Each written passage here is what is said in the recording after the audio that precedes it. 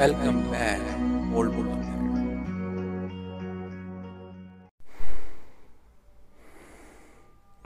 Hello friend welcome back आपका स्वागत है आपके अपने ओल्ड बुक अकेट चैनल में और आज हम बात करने वाले हैं सेक्शन हमारा रहेगा ये इन्वायरमेंटल स्टडी पर्यावरण अध्ययन जो कि रीड के लिए हम बात कर रहे हैं जैसे कि पहली वीडियो अपलोड कर दी गई है ई की। ठीक है? किसकी है? ई की है। सीडीपी वो सीडीपी की थी और ये आपकी किसकी है? ई की है। ठीक है तो इसको हम डिस्कस करने वाले हैं तो चलिए क्लास को स्टार्ट करते हैं फटाफट।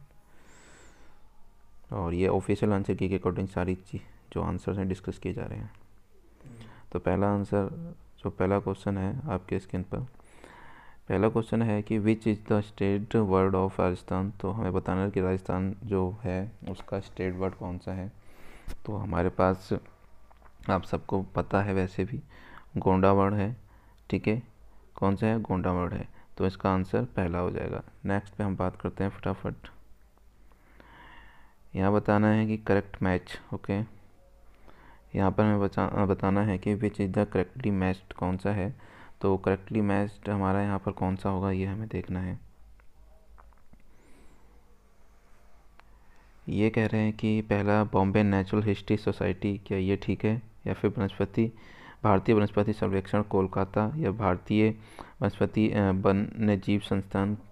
ठीक है, ये है कोयम्बतूर और फिर राष्ट्रीय वनस्पति अनुसंधान संस्थान जोधपुर। तो इसका आंसर जो हमारे पास है वो ये है, कोलकाता में जो हमारा भारतीय वनस्पति सर्वेक्षण है, यानी botanical survey of India Kolkata. Okay? Botanical survey of India Kolkata में है। Next question. नेक्स्ट क्वेश्चन कहता है कि which of the following is not source of renewable energy तो जो हमारी रिन्यूएबल एनर्जी है वो कौन सी नहीं है? हमें ये बताना है इसमें। देखेंगे ट्वेंटी थ्री क्वेश्चन है। देखेंगे हम इसको। देखिए, एक चीज़ है, पवन ऊर्जा, आपकी सौर ऊर्जा या जल ऊर्जा या फिर आपकी जीवाश्म ऊर्जा। तो यानी फॉसिल फ्यूल्स हो गया वाइंड एनर्जी हो गई सोलर एनर्जी हो गई और हाइड्रो इलेक्ट्रिसिटी हो गई। तो ये पूछा गया है, देखिए क्वेश्चन को पढ़ते समय एक बार ये ज़रूर देखेंगे वो कैसा पूछ रहा है। नॉट कह रहा है कि which of the following is not source of renewable energy यानी क्या है? नवीनकरणीय ऊर्जा का स्रोत नहीं है। जिसको हम नवीनकरण नहीं कर सकते तो वो हमारे पास क्या है? फॉसिल फ्यूल्स है या फिर जीवाश्म ईंधन है। ठीक है? ये इसका आंसर कौन सा ठीक है? पहला, यानी ए आंसर ठीक है। बाकी ये सब जो है रिन्यूअल हैं कन्वर्टेड हैं। उसके बाद twenty four who coin the term ecosystem ये टर्म है इकोसिस्टम कहाँ से लिया गया है? बिल्कुल बेसिक है। और इकोसिस्टम टर्म जो है आपका कहाँ से लिया गया है? किसने दिया है? तो हमें ये बताना है। तो परितंत्र, हिंदी वाले देखेंगे, परितंत्र शब्द का गठन किसने किसने किया है? ठीक है? तो परितंत्र जो शब्द है, वो हमारे टेंसले हैं। जो टेंसले थे, उन्होंने दिया है। किसने? टेंसले ने दिया है। ये आपको फैक्चुअल क्वेश्चन है, आपको याद ही करने पड़ेंगे। ट्वेंटी फाइव क्वेश्चन नंबर देखते हैं। ट्वेंटी फाइव ट्वेंटी फाइव में कह रहे हैं which place of India has highest rainfall तो हमें देखना है कि हाईएस्ट रेनफॉल कहाँ होता है, यानी सर्वाधिक वर्षा वाला स्थान कौन सा है? तो हमारे पास सर्वाधिक वर्षा वाला स्थान जो है मानसिन राम है, ठीक है? मानसिन राम है, ओके? ये आपको क्या करना है? रिमेंबर करना है मानसिन राम नेक्स्ट आ जाते हैं हम। आपका ट्वेंटी सिक्स है biotic component of environment includes ठीक है? बायोटिक कंपोनेंट्स पूछा है हमसे कि कौन सा है? अब यहाँ देखिए, क्या आपकी लैंड है? एयर है प्लांट है वाटर है। क्या है? क्या नहीं है? हमारे पास क्या है? ये बताना है। तो बायोटिक कंपोनेंट्स जो हैं, वो आपके, देखिए लैंड हो गई एयर हो गया वाटर हो गया दैट इज़ जस्ट एक अलग चीज़ है। लेकिन जो हमारे पास प्लांट हैं ये बायोटिक कंपोनेंट है, ठीक है? कैसा है ये? प्लांट्स जो है बायोटिक कंपोनेंट्स है ओके बायोटिक कंपोनेंट तो हमारा आंसर कौन सा है? इसका ट्वेंटी सिक्स का सी आंसर करेक्ट आंसर है। नेक्स्ट पे बढ़ जाते हैं। मीना माता रोग का संबंध किस संबंध निम्नलिखित में से किससे है? मीना माता एक रोग होता है, Minamata disease related to which of following तो किससे है?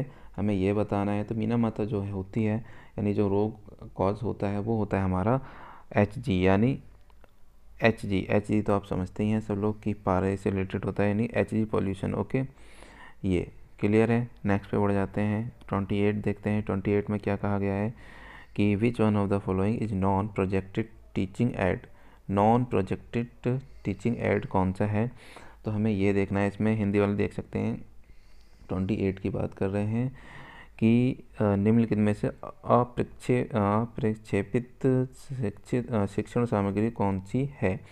तो देखिए हमें ये बताना था। अब इसमें हमारा जो आंसर है वो है चार्ट क्योंकि नॉन प्रोजेक्टेड यानी हम नॉन प्रोजेक्ट चार्ट तो एक नॉर्मल है लेकिन फ़िल्म स्ट्रिप्स हो गई फिर ये एप, एपिडिस्कॉप हो गया फिर है स्लाइड्स ये सारी चीज़ें क्या हैं? ये प्रोजेक्ट बेस हो गई।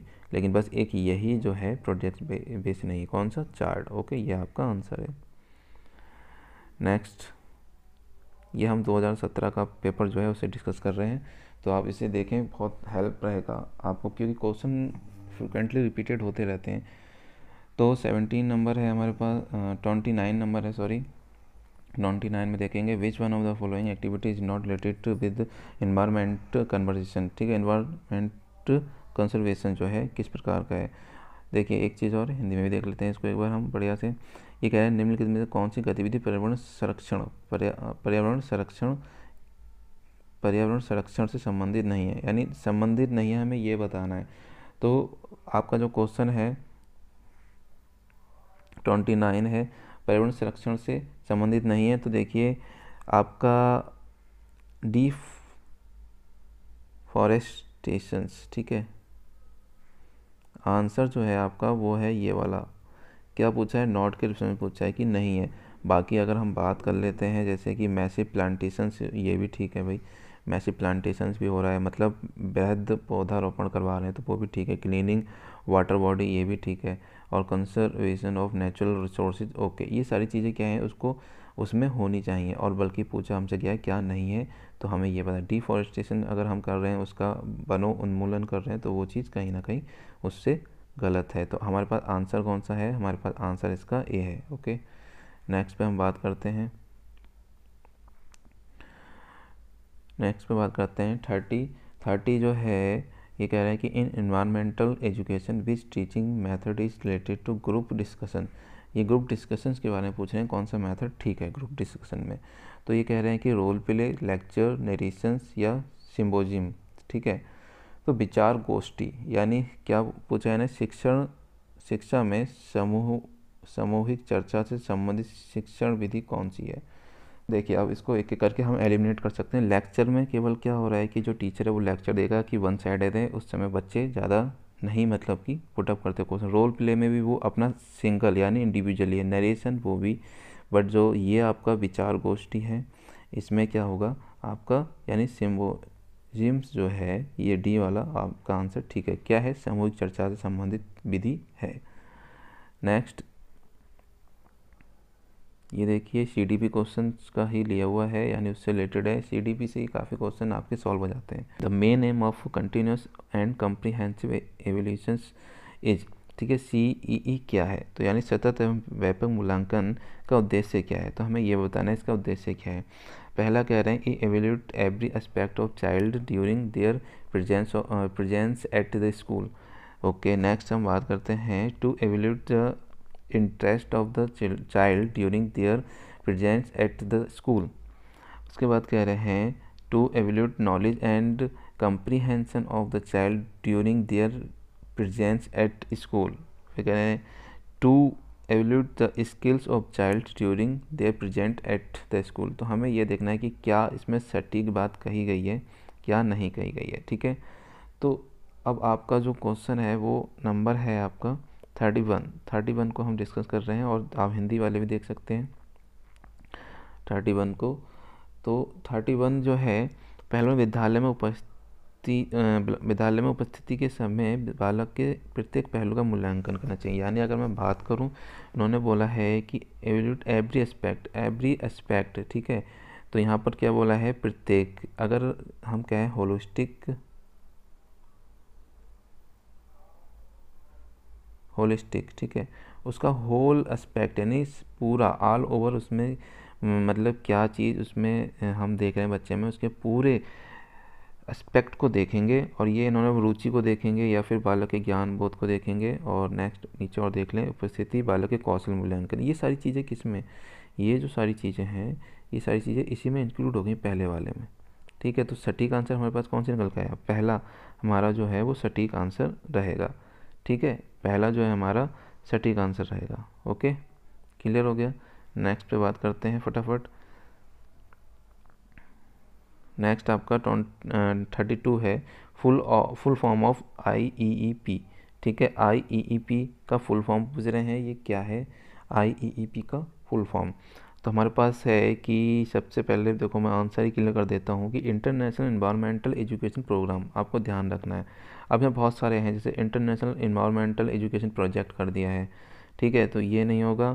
फिर इंडियन इन्वायरमेंटल एजुकेशन प्रोजेक्ट ये नहीं होगा। Indian environmental education programme no आपको जब भी अगर आई ई e और ई e, पी दिखता है तो आई फॉर स्टैंड करेगा इंटरनेशनल ठीक है? इंटरनेशनल करेगा फिर ई फॉर इन्वायरमेंट करेगा। ठीक है? इन्वायरमेंट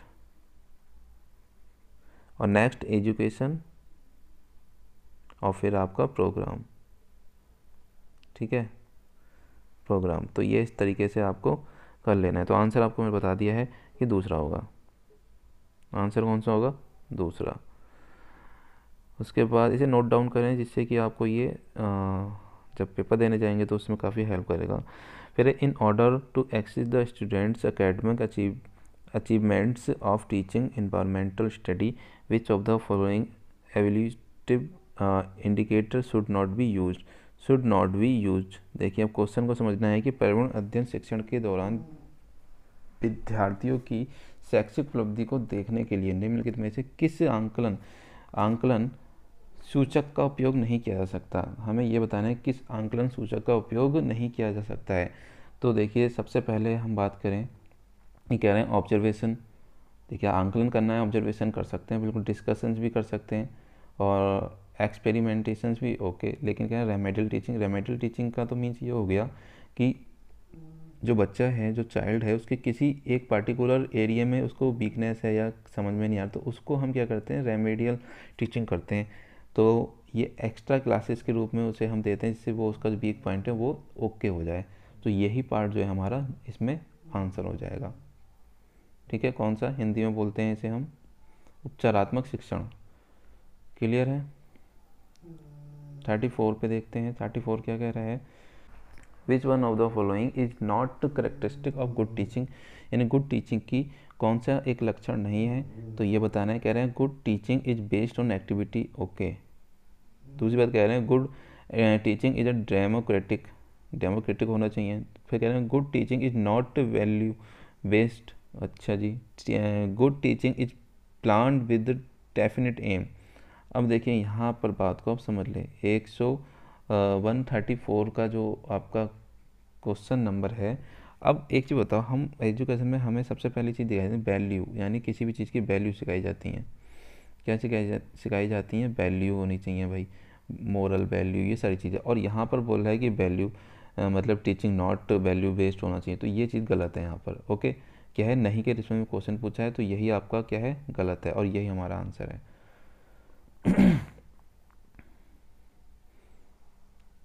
थर्टी फाइव को देखेंगे which one of the following is following choice is not include in the content of environmental study ठीक है इन्वायरमेंटल स्टडी कंटेंट यानी अगर हम पूछें अध्ययन, पर्यावरण अध्ययन के विषय वस्तु से संबंधित नहीं है। क्या नहीं है? Forest conservation political water soil देखो फॉरेस्ट भी है वाटर भी है और सॉइल भी है बट पॉलिटिकल हमारे इसमें नहीं है। क्या नहीं है मगर पॉलिटिकल यानी राजनीतिक संरक्षण की बात हम यहाँ पर नहीं करते हैं। ओके नेक्स्ट पे पहुँचते हैं और थर्टी सिक्स यानी वन थर्टी सिक्स जो है आपका क्वेश्चन देखिए। कह रहे हैं कि which one of the following law is not related to trial error theory of learning देखिए, ये भी एक सीडीपी से रिलेटेड क्वेश्चन है और उन्होंने पूछा है कि ट्रायल एरर के थ्योरी से रिलेटेड नहीं है, यानी प्रयास और त्रुटि। तो सबसे पहले जो हम बात करेंगे वो कौन सा देखिए, आपका law of readiness exercise effect ये सारे क्या हैं? ये आपके लर्निंग के, ठीक है? लर्निंग के प्रिंसिपल हैं। ओके? लर्निंग प्रिंसिपल हैं। इससे पहले जो मैंने आपको सी डी पी क्वेश्चन कराए हैं, अगर उसने उसमें आपने देखा होगा तो ये आपको आंसर मिला। ये क्वेश्चन मिलेगा, लेकिन उसमें इस टाइप से नहीं पूछा गया, दूसरे तरीके से पूछा गया। तो इसमें आंसर जो है, वो आपका ये है। ठीक है? ये रिलेटेड नहीं है। ये रिलेटेड नहीं है। थॉन्डाइक जो हैं थॉन्डाइक उन्होंने ये दिया है, और वही लर्निंग बाई डूइंग और ट्रायल वगैरह जो उनका दिया हुआ है। बट यहाँ पर जो आंसर हमारा नॉट के रेफरेंस में पूछा गया है, नॉट के रेफरेंस में जो आंसर होगा वो ए है ओके ए नेक्स्ट पे बात कर लेते हैं हम। Next question thirty seven thirty seven कहता है to prevent child labour in India in which year the child labour prohibitions and regulations act pass जो हमारा प्रिवेंट यानी चाइल्ड लेबर जो एक्ट है ना जिसमें कि भारत में बाल श्रम को प्रतिबाधित प्रतिबंधित करने के लिए जो एक नियम नियम बनाया गया था, वो किस वर्ष हमारे मतलब देश में पारित हुआ था? तो हमें ये बताना है, किस वर्ष वो पारित हुआ है? तो 137 में हम देख रहे हैं और हिंदी वाले हिंदी में देखेंगे इसको अच्छे से। तो वो हमारा जो हुआ था 19 1986 में हुआ था। 1986 में हुआ था आपका कौन सा 1986 में हुआ था? क्लियर है? ठीक है? 1986 में हुआ था। ये याद रखना है सन आपको। इसमें बच्चे को ये बोला गया कि बच्चे से आप काम नहीं कर सकते। उसकी एक एज डिसाइड की गई है कि इसके बाद आप उसको रख सकते हैं। अदरवाइज़ आपको जुर्माना और जेल भी हो सकती है। थर्टी एट में देखेंगे। थर्टी एट क्वेश्चन कह रहा है कि what is the minimum legal age of marriage for girls and boy in India तो नॉर्मल है, ये क्वेश्चन तो बहुत ही गर्ल्स के लिए देखिए गर्ल्स तो गर्ल्स के लिए कितना है? गर्ल्स के लिए एट्टीन है और बॉय के लिए ट्वेंटी वन है। ठीक है तो आपका आंसर कौन सा हो गया? बी इसका तो बताने की ज़रूरत ही नहीं था। ये आंसर बिल्कुल करेक्ट आंसर है। नेक्स्ट जल्दी से बात करते हैं। Thirty nine thirty nine question कहता है कि what is the name of textile city of Rajasthan textile जो है सिटी के नाम से कौन फ़ेमस है राजस्थान में? यानी राजस्थान की वस्त्र नगरी का क्या नाम है? तो वस्त्र नगरी का जो नाम है, वो हमें बताना है। तो इसमें हम देखेंगे भीलवाड़ा। भीलवाड़ा जो है, वो आपका वस्त्र नगरी के नाम से जाना जाता है। कौन सा? आपका भीलवाड़ा। भीलवाड़ा। ठीक है, इसको आप याद कर लें रिमेंबर कर लें अच्छे से। उसके बाद फोर्टी नंबर फोर्टी नंबर है आपका कि what is the name of medicine commonly use to control the addiction of neurotic drugs ठीक है एडिक्शन न्यूरोटिक ड्रग्स के लिए यूज़ करें नस्ली दवाओं की लत को नियंत्रित करने में काम आता है। तो बहुत ही बढ़िया इसका आंसर है और आप जानते हैं कि कौन सा है, कौन सा नहीं है। हिंदी वाले हिंदी में एक बार ज़रूर देख लें, अच्छे से पढ़ लें। तो हमारे पास कौन सा है? पैडी पैडीडिन, ठीक है, पैडीडिन। तो ये जो है क्या नस्ली दवाओं की लत को नियंत्रित करने में आमतौर पर यूज़ जैसे कि जिनको लत हो जाता है मतलब दारू का या फिर उनको बहुत सारे नशीले पदार्थ आते हैं तो उनको छुड़ाने के लिए ये पदार्थ दिया जाता है, जिससे उसको, उसका एडिक्शन जो है वो कम होने लगता है। बट हल्के हल्के। फोर्टी वन नंबर देखते हैं question. Forty one number question कहता है which of the following is declared as hundred percent open defecations free state यानी O D F O D F state कौन सा है? यानी हंड्रेड परसेंट आपका जो है, खुले सोच मुक्त राज्य हो गया था। तो वो कौन सा राज्य हो गया था आपका? हिंदी वाले, हिंदी में देखे और इंग्लिश वाले, इंग्लिश में। फोर्टी वन हम बात करेंगे केरल। और ये पता होगा कि केरल ही एक ऐसा राज्य है जिसमें सबसे ज़्यादा लिटरेसी रेशो हाई है। उसके बाद आता है forty one the total number of the total number of member of parliament in Rajya Sabha from Rajasthan is यानी राजस्थान में कुल संसदों की संख्या कितनी है? तो हमें ये बतानी, कुल संसदों की संख्या कितनी है? फोर्टी टू की बात कर रहे हैं और इसमें हमारी टेन होती है ओके ये आपको कंसेप्चुअल क्वेश्चन हैं, इसमें आपको याद ही करना पड़ेगा। फोर्टी आपका टू ओके क्लियर हो गया? फोर्टी थ्री पोस्टें हु डिस्कवर नायलॉन तो कह रहे हैं कि नायलॉन का आविष्कार किसने किया? हमें ये बताना है, नायलॉन का आविष्कार किसने किया? तो वो हमारे पास हैं वालेस कैथोरस, ठीक है? वेलेस कैथरस ने किया था। ये आपको याद ही करना पड़ेगा। बाकी ये मेलविन, कैलविन ने किया रॉबिन हिल ने और पीटर मैसेल्स ने नहीं किया। ये सारी चीज़ें गलत है। केवल एक हमारे पास, ठीक है? उसके बाद फोर्टी फोर नंबर क्वेश्चन है आपका कि which of the following which of the following is not related to Rajasthan? यानी कौन सा राजस्थान से रिलेटेड नहीं है? तो हमें ये बताना है। तो कौन सा राजस्थान से रिलेटेड नहीं है? हिंदी वाले हिंदी में देखें और इंग्लिश वाले इंग्लिश में देखेंगे। तो हमारे पास जो है माघ का मेला जो है ना वो नहीं है। बाकी पुष्कर मेला राजस्थान में है खेजड़ी मेला और कि गणेश्वर मेला यानी ये सारे तो हैं लेकिन जो है मास का माघ फेयर्स ये नहीं होता। कहाँ होता है? आप लोग कमेंट करके बताएँ मुझे। उसके बाद आपका क्वेश्चन नंबर ये है। क्वेश्चन नंबर जो है फोर्टी फाइव, यानी वन फोर्टी फाइव की बात कर रहे हैं हम। और वन फोर्टी फाइव में हम देखें क्वेश्चन क्या कर रहे हैं when did the first passenger train start in India यानी कब जो है भारत में प्रथम यात्री रेलगाड़ी की शुरुआत कब हुई थी? हमें ये बताना है। तो इसका भी कंसेप्चुअल है, यानी अट्ठारह यानी अट्ठारह में हुई थी, यानी 1853 में ये स्टार्ट हुआ था। यानी क्या बोल रहे हैं कि भारत में प्रथम यात्री रेलगाड़ी की स्थापना शुरुआत, सॉरी, स्थापना नहीं, शुरुआत कब हुई थी ये हमें बताना है। नेक्स्ट है 46 में हम जाते हैं। 46 हमारे पास कह रहा है, बहुत ही सिंपल सा आंसर है। यानी पीसी कल्चर क्या है? यानी पीसी कल्चर क्या है? और पीसी कल्चर को हम क्या बोलते हैं? ये आपको बताना है। जिससे पीसी का मतलब पता है तो वो बड़े आराम से इसका आंसर दे देगा। 46 का हम बात कर रहे थे ना तो हम बात कर रहे हैं कि इसका आंसर जो है हमारा बी यानी जो पीसी है, यानी पाइसिस बोल देते हैं इंग्लिश में हम इसको पाइसिस यानी अगर आपने बायो से हैं और एम एस सी या बी एस करे हुए तो आप इसको बड़े आराम से कैप कर सकते हैं। तो पीसी कल्चर जो है, वो आपका मछली पालन को ही हम बोलते हैं। नेक्स्ट हम बात करते हैं फोर्टी सेवन पर हम बात कर रहे हैं। फोर्टी सेवन कह रहा है कि जमर कोटा, जमर कोटडा खदान प्रसिद्ध है, ठीक है? Jhamarkotra mines is famous for किस लिए फ़ेमस है, ये हमें बताना है। तो ये हमारे पास है कि रॉक फॉस्फेट के लिए, यानी रॉक फॉस्फेट के लिए ओके तो हमें ये याद रखना है बड़े आसानी से, इसको हमें भूलना नहीं है।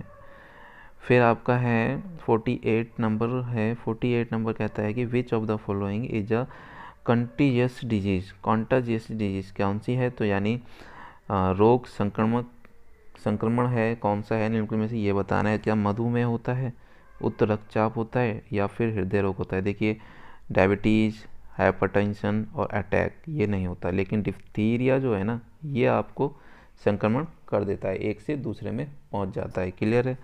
नेक्स्ट हम बात कर लेते हैं, forty nine.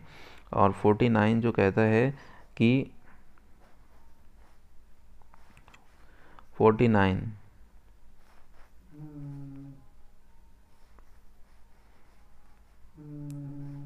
Forty nine which of the following test is directly related with H I V H I V से कौन सा रिलेटेड है?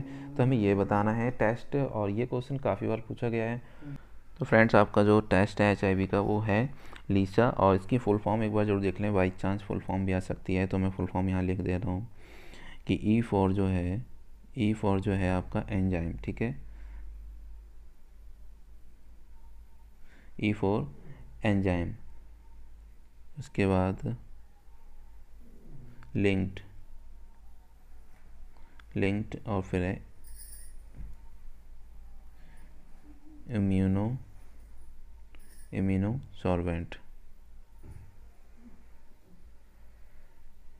सॉर्वेंट ऐसे। ठीक है, ये आपको नोट डाउन कर लेना है, ये आपका, इसका फुल फॉर्म है। क्लियर हो गई? चलिए आगे बढ़ जाते हैं। उसके बाद फिफ्टीन और ये लास्ट है इस वीडियो का in which year pulse polio immunization programme was launch in India किस ईयर मतलब जो है, टीकाकरण पोलियो का लॉन्च किया गया था, यह हमें बताना है। और इसका हमें जो है 95 में याद रखना है, जिसकी भी डेट ऑफ़ बर्थ है तो वो बड़े आराम से याद रख सकते हैं। 95 यानी 95 में पोलियो का क्या है फ़र्स्ट यानी which which year pulse polio immunization was launch in India तो इंडिया में लॉन्च कब हुआ था? 1995 में हुआ था। क्लियर है? ओके फ्रेंड्स अगर आपको ये वीडियो काफ़ी पसंद आ रही है तो फिर लाइक सब्सक्राइब करें ज़्यादा ज़्यादा अपने फ्रेंड के साथ शेयर करें, जिससे कि हर किसी को बेनिफिट मिल सके। और ये हंड्रेड परसेंट आपको जो है, रीट में रीट में जो है, वो डायरेक्ट आपको हेल्प करेगा। ठीक है? क्योंकि क्वेश्चन हर बार रिपीट होते हैं। क्वेश्चन उनकी फॉर्म चेंज हो जाती है, लेकिन क्वेश्चन चेंज नहीं होते। क्वेश्चन रिपीटेड होते हैं। तो थैंक यू फॉर वॉचिंग इसकी नेक्स्ट वीडियो में ज़रूर और सारे पार्ट को हम एक एक करके कवर कर लेंगे। तो आप इसको कंटिन्यू देखते रहिए। Thank you for watching Thank you for watching my channel and please like, subscribe and share.